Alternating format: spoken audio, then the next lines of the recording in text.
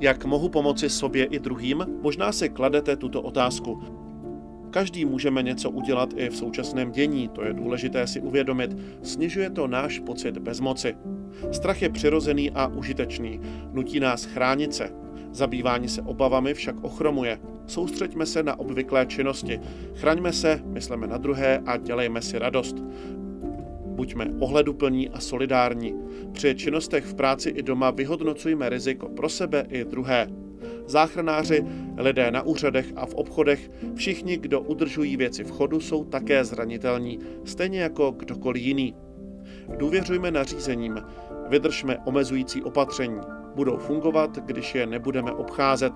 Pomáhá vědět, že nejsou nekonečná. Víme, kdy která skončí a proč. Lecos může mást. Pro někoho je informací z médií příliš, zvyšují úzkost. V tom případě omezme přísun informací. Jiný nenachází odpověď na otázky, které klade. V tom případě se ptejme. Souseda, který se lépe vyzná v internetu, odborníka, dosažitelného telefonicky. Závislost na druhých je v tuto chvíli v pořádku. Starejme se o sebe navzájem, pomáhejme si, pomáhání pomáhá. Někteří z nás se díky omezením získali čas. Krize je také příležitost.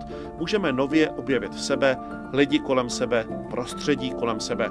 Do všeho z toho je možné užitečně vložit energii.